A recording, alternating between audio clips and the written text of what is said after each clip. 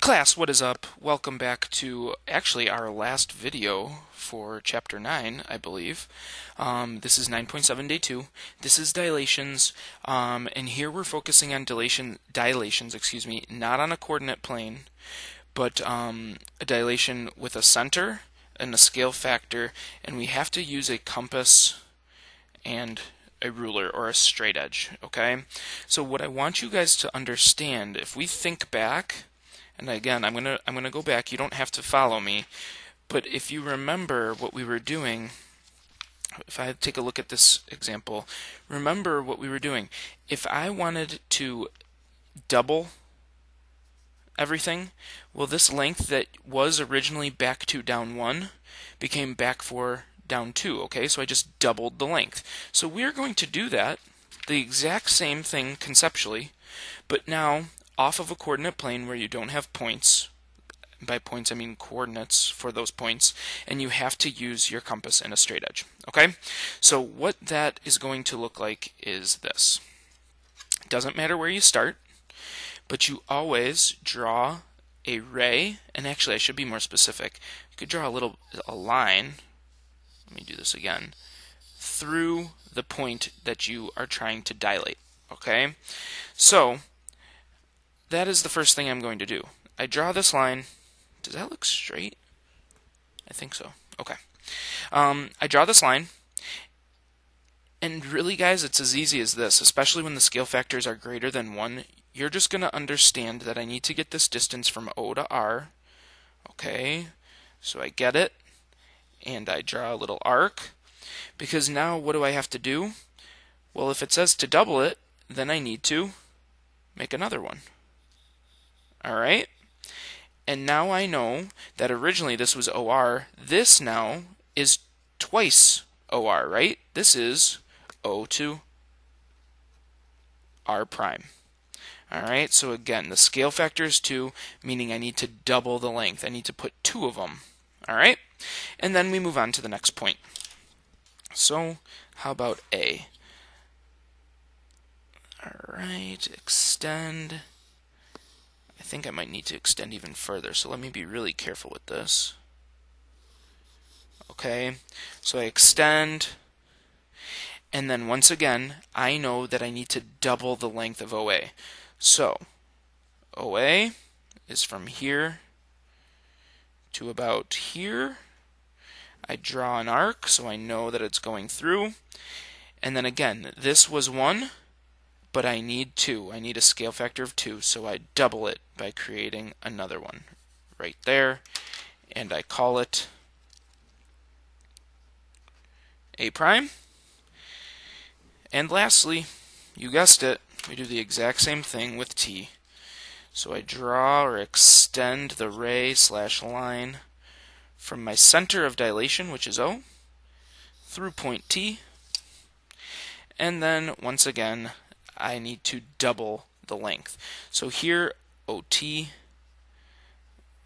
sorry, I'm kind of covering up. All right, I draw that arc, and then I double it by making another one from the last intersection point. All right, and I now have T prime. The last thing that I need you guys to do, I need you to connect the dots, okay? Make sure everything that was in your original picture is in your old or in your new one. So I had RA, which means I need R prime A prime. Something like that. And I had AT, so I need A prime T prime. And I had TR, so I need T prime R prime. Now, that is what I am going to do. If you want to, you can you can sketch if you want, or you can color in, whatever you want to do to let me know. But notice what happened. My original grew. It expanded. It, there was an enlargement by a scale factor of 2. And really, guys, if you notice, it's the same exact shape, just what? Different size. Now, we are not going to do number 2 right now but I want you to think through it right now. What's the only difference because now I have a scale factor of 3? Well, if I have a scale factor of 3, I'm not just going to, I wouldn't just double, right? I wouldn't need 2, I would need 3 because I need to triple the original. All right, so I just want you to understand that's how you do any of these enlargements. You take your scale factor, two, three, four, and you basically create that many. Okay, now the one that's a little tougher, and what we're going to work on now, is when we have a scale factor between 0 and 1, because we know that this will be a reduction. And again, this is just a little tougher. It's a little tougher. And the reason is is because it's really easy with a compass to double a length. You can't really take half of a length just in one step, like directly with a compass. You're going to have to do something else from our constructions unit, and that should be a hint that maybe some of you guys are figuring out what we might need to do. So it starts the same, easy enough. I'm going to draw or extend, connect the dots from my center of dilation through the point that I would like to dilate. Alright, so I drew CP. It really doesn't matter, you can extend it.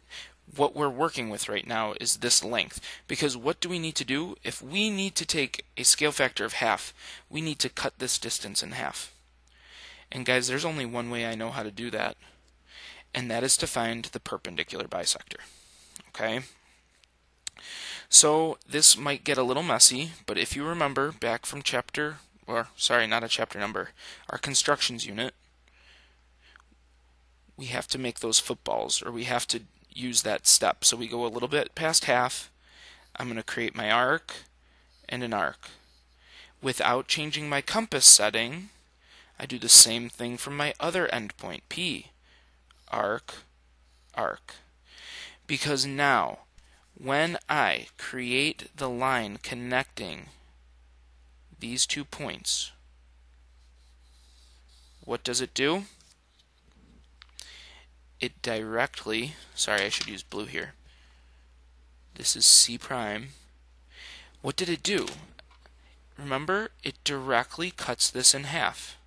Alright, so this these two segments are the exact, exact same. So, for example, if this had been 10, well, now it's 5 and 5. So isn't this half of my original? It sure is. So that is what you're going to have to do several times. All right. Um, this is not good. I guess I need a bigger ruler. Do I have one? Let me see. Sorry about this, guys. I will make sure that on a quiz or a test, I give you something that is manageable so that you don't have to um, worry too much, okay? Sorry about that. Okay, so again, I need to create this line from my point that I'm dilating to the center, and once again, it's the same exact thing. I need to go past half, so maybe something like this. And what do I do? I'm, I go arc, arc, I go arc, arc. And now I know that when I connect these two points together, something like that, well, this is the point I needed. This intersection point right here is halfway between A and P, and so I call this now a prime. It is an absolute coincidence that it went through B. Don't think that it's supposed to go through any of the original points like that. Okay? Now, the last one. This one I can go back to my smaller straight edge. Uh, what do I have to do? I have to connect the two points, alright? So I connect the point that I'm dilating, and then the center of dilation, and I use the same method. I go a little past half, arc,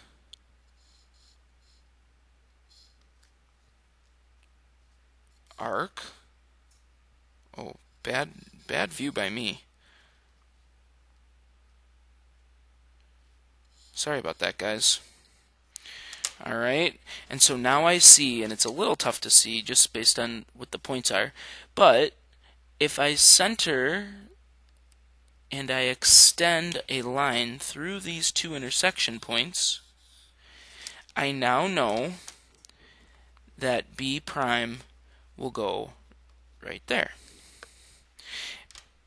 And so when I go ahead and I connect my points, C to C prime to A prime, A prime to B prime, and B prime to C prime, what have I done?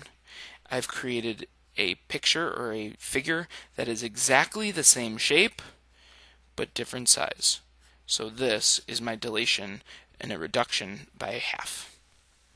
All right, so we will practice more of these in class. I can do another one of these. I know that this gets a little bit messy with all of the construction marks. I don't want you erasing though. Remember, I like to see, and I, I know it's tough, but I'd like to see all of your marks so I know that you know the procedures properly.